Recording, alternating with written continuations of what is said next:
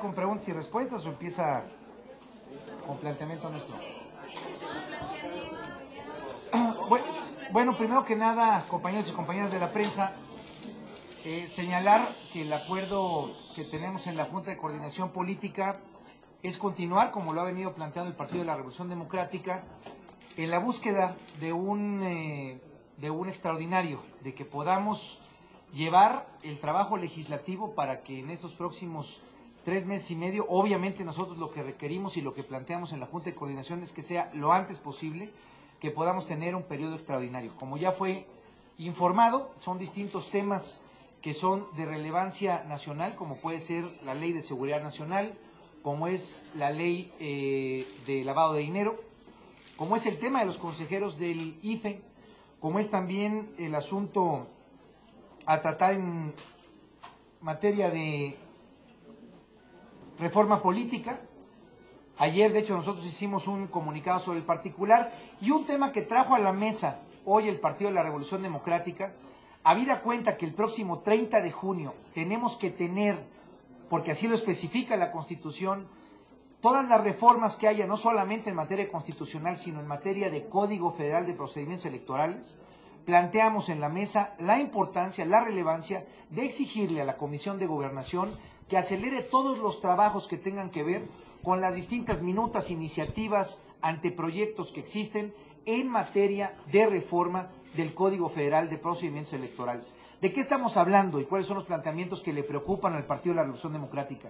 De que garanticemos una verdadera reforma que de una vez por todas limite lo que han venido haciendo las televisoras.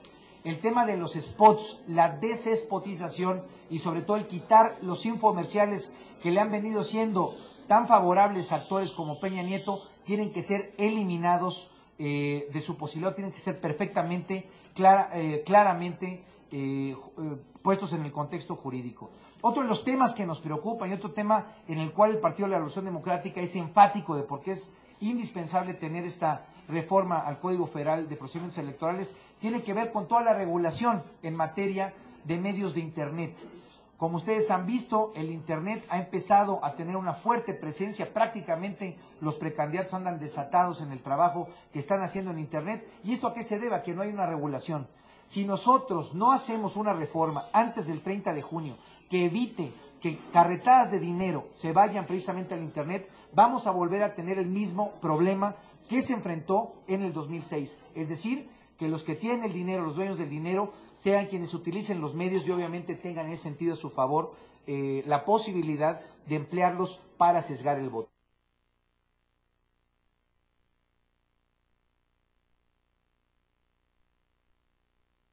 Como lo hicimos aquí en la Junta, es a exigir, a reclamar que las comisiones no vayan a hacer cronogramas a tempore, cronogramas dilatados, cronogramas que no tengan claridad de cuándo vamos a llegar. La diputada Josefina Vázquez, que se va a hacer una sesión especial, pero todavía no se define el día. ¿Qué nos puede decir en, relación a consejeros electorales? ¿Hay o no periodo extraordinario para este tema? Bueno, la Junta de Coordinación Política aprobó que este fuera uno de los temas principales y aprobó que estemos en sesión permanente.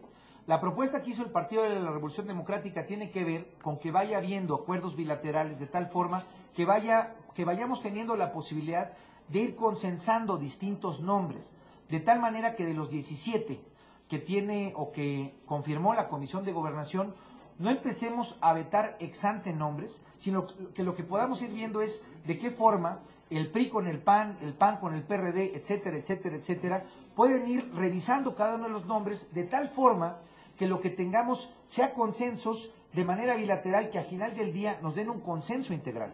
Necesitamos tener tres nombres que sean, como lo hemos venido diciendo, los mejores representantes de la ciudadanía. Consideramos que los 17 nombres que están puestos en la materia de la, de la minuta que exhibió la comisión permiten tener gente con esas capacidades. Entonces, vayamos ya sentándonos, y esa es la convocatoria que hizo el PRD desde la semana pasada, que hoy volvimos a confirmar y que es parte del acuerdo para que en estos días nos podamos sentar entre los grupos parlamentarios y de una vez destrabemos esto. Si se destraba en el contexto de que tenemos una Junta de Coordinación Política instalada de manera permanente, deberíamos entonces de convocarnos y de manera inmediata resolver el tema de la terna para convocar un periodo extraordinario y es algo para lo que el PRD va a estar empujando los próximos días. Eh, diputado Iván Monano, del Grupo ASIR. Aquí estoy. Este, a ver, me, queda, me, llama mucho la atención lo que estás eh, señalando desde ayer. Este periodo extraordinario, eh, que se podría para el día 26, lo que estabas planteando el día de ayer. Y sin embargo, ahorita están hablando de nuevos cronogramas, de nuevos, este, de, vaya, nueva agenda, porque ahora las comisiones. Y ahorita estás diciendo que también la reforma política, lo que es la regulación, ¿sí?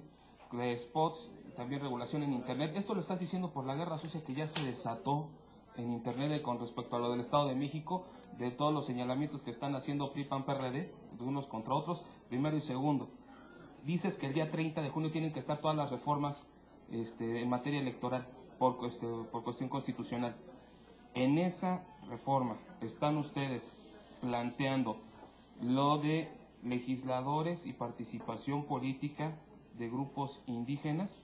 Caso concreto, hay, hay, legisladores que, tu, que llegó, estos casos llegaron al Tribunal Electoral y el propio Tribunal Electoral en la ONU dijo ayer, un representante del tribunal, que los partidos políticos para 2012 podrían estar tratando de torcer la ley para que en caso de que haya alguna persona con derecho que haya ganado una elección siendo indígena, pudiera, pudieran retirarle su lugar para que entre una persona, caso de las Juanitas pero en este caso con indígenas. Bueno, nosotros lo que estamos exigiendo y lo que trajimos a la mesa el día de hoy es que, dado que el 30 de junio es la fecha en la cual la Constitución establece que a partir de ella ya no se pueden hacer reformas, nosotros lo que estamos pidiendo y que fue parte del acuerdo el día de hoy es que la Comisión de Gobernación, que es la encargada de regular sobre la materia, revise todas las iniciativas que hay y podamos atender con la finalidad de llegar a un dictamen antes del 30 de junio, motivo por el cual estaríamos convocando un periodo extraordinario para garantizar que temas como el de los spots, temas como el de las Juanitas con la situación de un doble sexo, posiblemente este que traes a la, a la materia, y otros más que especialmente tienen que ver con el uso cuantioso de recursos y que hoy a través de distintos mecanismos que no están regulados, como los infomerciales, como los spots y que han sido los principales instrumentos que han permitido el crecimiento de una candidatura que no tendría otra forma de crecer más que a través del uso de la televisión, estoy hablando de la candidatura del gobernador del Estado de México, puedan ser claramente regulados. ¿Por qué? Porque implican un peligro para la democracia, implican un peligro para el libre voto de los ciudadanos mexicanos. Ah, Margarita, Margarita. Diputado. Roberto. Eh, en materia de la reforma política, eh, el PRD se ha manifestado, como lo has venido haciendo, porque ya se eche a andar el trabajo de dictaminación de la minuta. Sin embargo, ¿qué te dice que el silencio del PRI y del PAN sobre este tema? Es decir, hasta ahora no se han manifestado, no han hecho llegar a la Comisión de Puntos Constitucionales las observaciones que debían de tener y ustedes ya la hicieron llegar. ¿Qué le dice al PRD el silencio del PRI y del PAN en torno a este, a este tema que es tan importante como lo has manifestado? Bueno, a nosotros nos preocupa y le hicimos claro el día de ayer que fueron solicitadas las observaciones de manera sustantiva respecto a lo que implica la minuta del Senado y dichas, eh, dichos señalamientos, repito, sustantivos, estamos hablando de materia, no estamos hablando de procedimiento, no han sido exhibidos, o por lo menos no habían sido exhibidos hasta el día de ayer. ¿Qué es lo que es importante sobre este particular? Y fue el acuerdo que hoy tuvimos, dado que necesitamos que la Comisión de Gobernación acelere el cronograma, porque el 30 de junio es el tiempo en el que termina la posibilidad de discutir este tema, pues que se exhiban esas observaciones, que sean observaciones de carácter sustantivo, es decir, que cada grupo parlamentario diga, diga en qué está a favor y en qué está en contra, de tal manera que no nos vayamos a trabar en una discusión que solamente vea sobre el procedimiento, que utilice como excusa que siendo una reforma constitucional se requiere de mucho tiempo, es cierto, el documento que ayer exhibimos y que presenta el presidente de la Comisión de Puntos Constitucionales, don Juventino Castro, ya especifica cuál es nuestra posición respecto a temas muy puntuales. Y obviamente él lo hace a título personal como miembro del Partido de la Revolución Democrática. ¿Qué es lo que le estaremos pidiendo en las próximas horas, en los próximos días, en las próximas semanas? a los grupos parlamentarios. El próximo 19 está convocada la Comisión de Puntos Constitucionales. Yo esperaría que la discusión, a la vez que se dé en materia de un cronograma, como el que ya se tiene en materia de seguridad nacional, pues que se dé también bajo la lógica de empezar a exhibir los posicionamientos, los puntos, las afirmaciones o las negativas de cada uno de los grupos parlamentarios.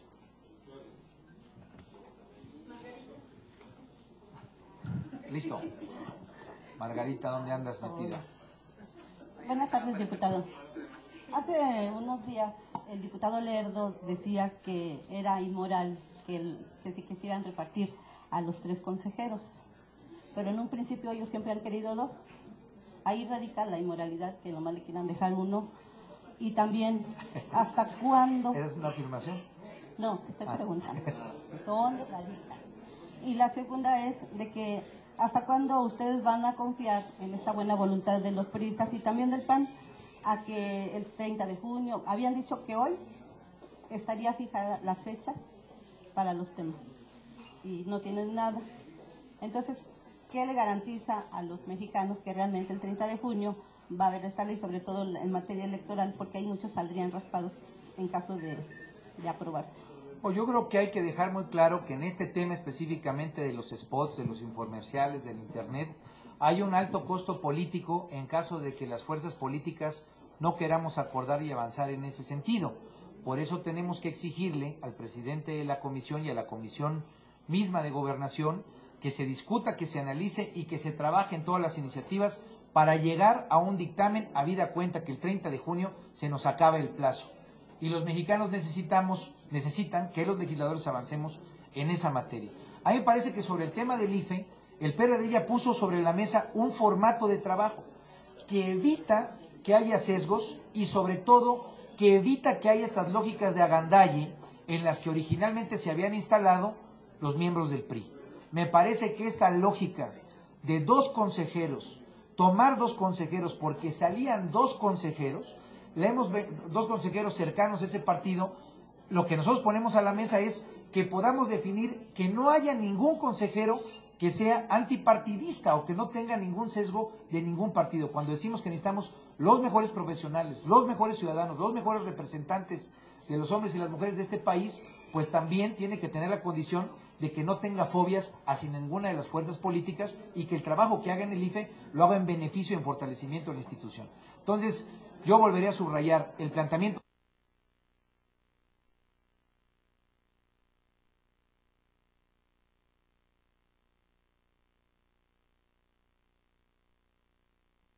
en la Junta de Coordinación Política no solamente planteamientos en busca de que haya voluntad de llegar a acuerdos, sino metodología para llegar a los mismos. Por eso el tema del 30 de junio hoy lo pusimos sobre la mesa. No se trata de dejar que las comisiones atempore a su libre discreción vean si pueden llegar a un acuerdo o no, porque eso hace que el trabajo legislativo no tenga claridad, sobre todo no tenga una visión de emergencia como la que tenemos hoy en temas como seguridad nacional, lavado de dinero y los que hemos comentado. ¿Qué es lo que nosotros volvimos a poner hoy en contexto? Habíamos puesto sobre la mesa que el 26 pudiera programarse un extraordinario para discutir seguridad nacional. La comisión nos da un cronograma de trabajo en el que pone hacia el mes de julio la posibilidad de tener un dictamen. Entonces tendríamos la posibilidad de tener, en el caso específico de seguridad nacional, un periodo extraordinario para esa materia exclusiva. ¿Qué le tenemos que pedir y demandar desde este momento, a partir del acuerdo de la Junta de Coordinación, y el PRD lo va a estar haciendo a través de sus secretarios y en aquellas comisiones que presida, que el trabajo y los cronogramas sean trabajos que se hagan con responsabilidad, con toda seriedad, pero que se hagan con esa visualización de emergencia, que se hagan con la visión y con el interés de hacer un trabajo que llegue a un acuerdo, que llegue a una propuesta y que nos permita, en lavado de dinero en otras, tener un periodo. Podemos tener cuantos periodos extraordinarios haya en la medida en que el trabajo que hagamos sea claro, sea contundente, y para eso el PRD va a estar puesto, va a estar empujando, y obviamente vamos a estar buscando garantizar que estos temas los saquemos. Ah, perdón.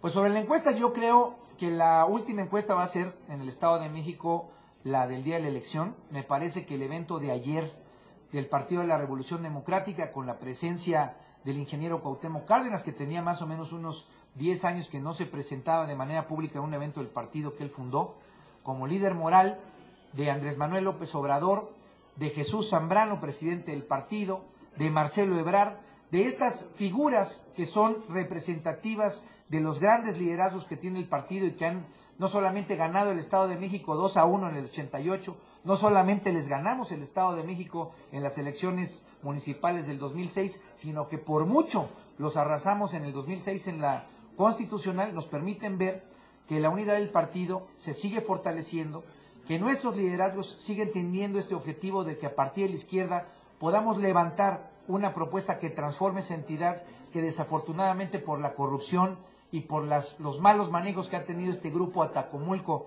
desde hace unos 80 años, podamos fortalecer y vender, podamos fortalecer y vender una nueva visión de cómo vamos a trabajar en ese estado y a partir de ahí cómo vamos a transformar el país a partir del 2012.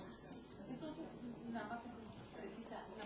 Estas figuras que logró reunir Encinas le garantizan que un triunfo es un mensaje que quieren dar o cómo se interpreta. Es un mensaje de que el ejército. Porque pareciera que el querido aquí es Encinas, ¿eh?